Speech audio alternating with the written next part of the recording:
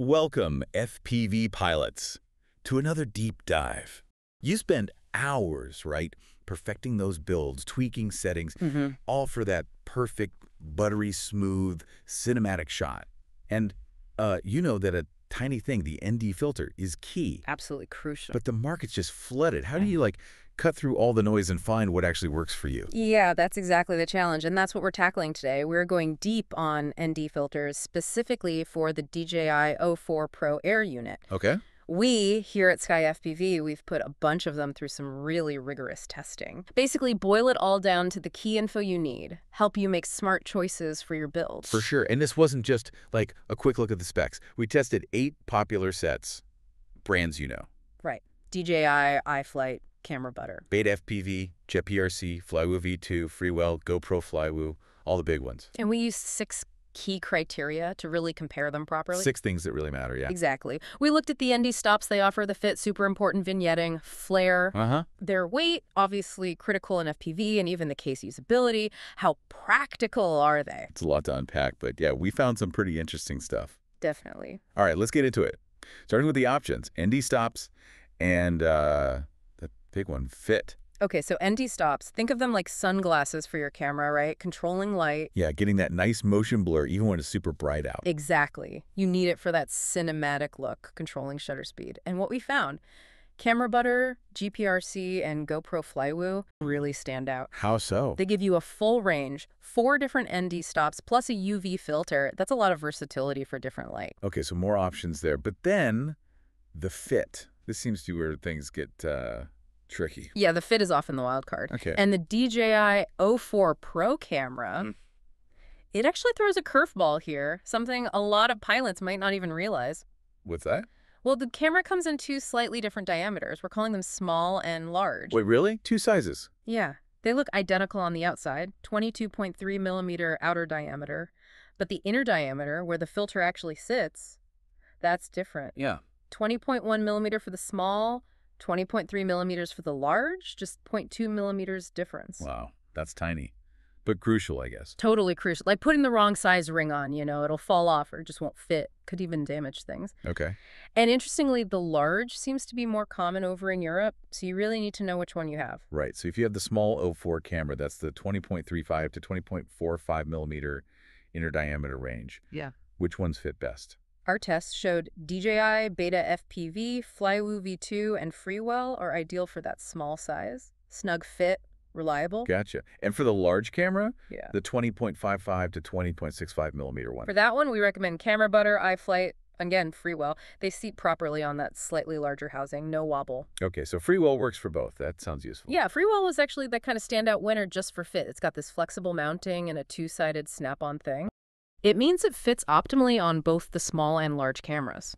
That adaptability is huge. Takes the guesswork out. Definitely a plus. Yeah. And what about the GoPro Flywoo ones? You mentioned them. Right, they have a specific niche. They're great for both naked O4 Pro and naked GoPro setups. You know, when you strip the camera was down. weight saving, yeah. Exactly.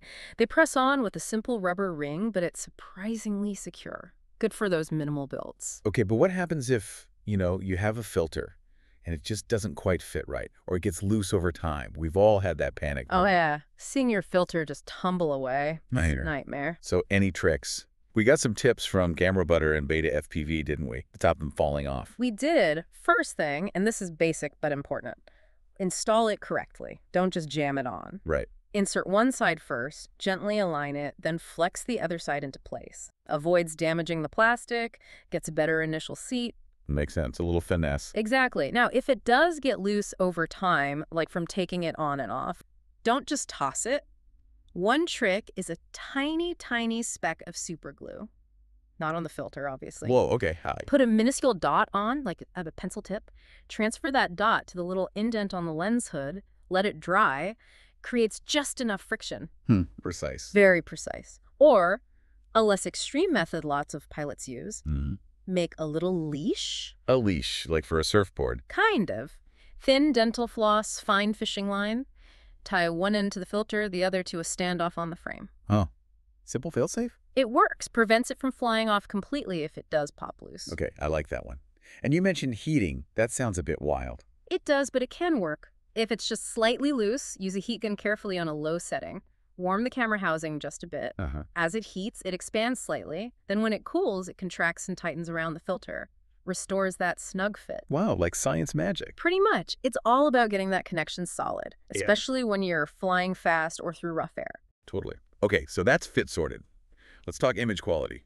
Vignetting and flare, the stuff that really affects your footage. Right. Vignetting first, that darkening in the corners. Yeah, it kind of ruins the look sometimes. Yeah. Makes it look less pro. Exactly.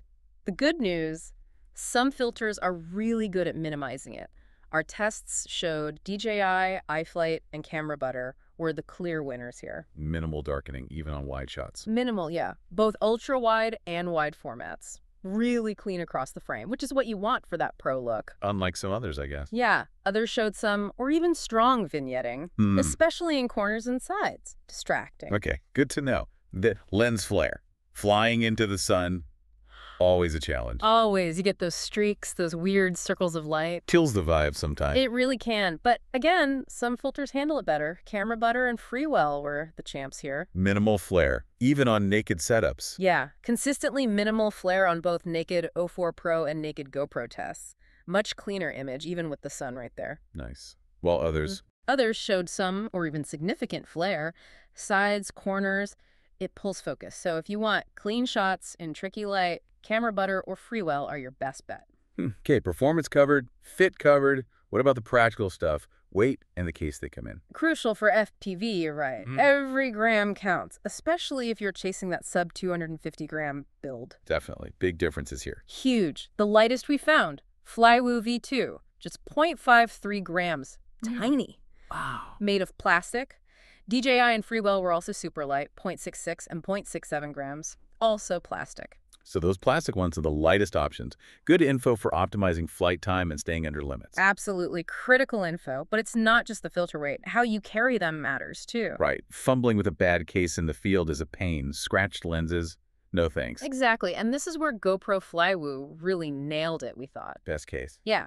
Compact, transparent case. Fits four NDs perfectly. Being transparent is key. You see what you need instantly. No opening multiple boxes. Right. And it's small, fits easily in your bag or pocket. Some other cases were okay, but maybe not transparent or just bulky. Not ideal. Gotcha. Okay, so pulling it all together Yeah. after all the tests, the weighing, the staring at footage. Yeah. What are the skkyFPV takeaways? The big recommendations. Right. The final scores, based on everything fit, optics, weight, case, camera butter came out on top, scored 2.5 out of 3. Solid performer. really solid. But Freewell and GoPro Flywoo were right behind, both scoring 2.3. Excellent alternatives with their own strengths. And you mentioned some standout features, Yeah. like the glass or warranty. Yeah, worth mentioning. Camera Butter uses Corning Gorilla Glass, super durable, scratch resistant, peace of mind, Nice. and Freewell offers a lifetime warranty. That's pretty amazing value. Can't argue with that. And price-wise, Yeah. are we talking big bucks? Generally, they range from around $20 up to maybe $79, so good options across different budgets. Quality is accessible. Okay. Now, how does this tie into the skkyFPV stuff? Yeah. Our kits. Right, because we design our kits thinking about these components. Our skkyFPV Naked O4 Pro Kit V1, V2, V2 Ultralight, it saves you a ton of weight, 11 to 18 grams. Significant. Huge. It's compact, works with O3 frames, and crucially, it has built-in ND filter support. We planned for it. Makes sense. Yeah. And for the skky35, our sub 250 build with the Naked GoPro and O4. Same deal. The skkyFPV Naked GoPro Kit for the AOS 3.5 V5, the skky35. We include ND filter mounts for both the Naked O4 and the Naked GoPro. So you're covered either way. Exactly. Seamless integration is the goal. No cobbling things together. Okay, so if someone is flying a Sky 35, any specific ND recommendations based on this testing? Yeah, we broke it down into maybe three main options depending on what you prioritize Yeah. robustness, weight, or versatility. All right, option one. Robust. If you're using the original CNC aluminum camera cage for extra protection, go with two O4 Pro NDs. We'd recommend Camera Butter for performance and durability. Alternative. iFlight is a solid second choice there. Okay. Option two chasing minimum weight. Then you use two GoPro NDs with our lighter skkyFPV 3D printed camera cage. That shaves off another four grams. Which is a lot at that scale. Huge. For that setup, GoPro Flywoo is the way to go. Got it. And the third option? Versatility. Mix and match. Use one GoPro ND and one O4 Pro ND. Lets you adapt to different shots, different conditions. Best of both worlds. Kind of. For that mix, we'd suggest GoPro Flywoo for the GoPro filter and Camera Butter for the O4 Pro filter.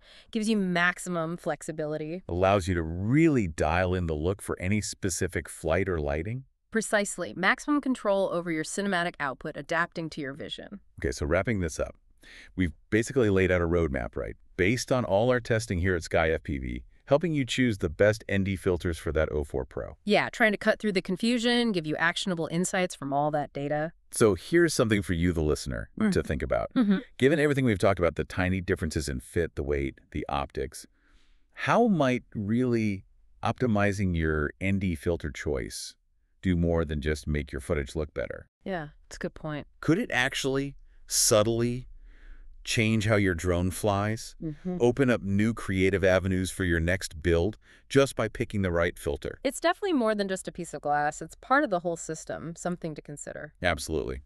Well, until next time, keep flying, keep experimenting. And keep getting those amazing shots.